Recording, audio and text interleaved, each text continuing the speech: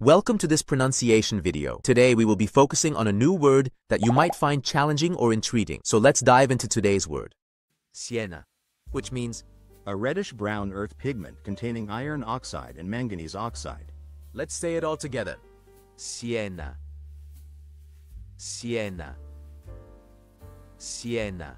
One more time. Siena. Siena. Siena. Thank you for joining us on this adventure in pronunciation. Remember, language is a journey, not a destination. Keep exploring, experimenting, and expanding your linguistic horizons. We'll see you next time.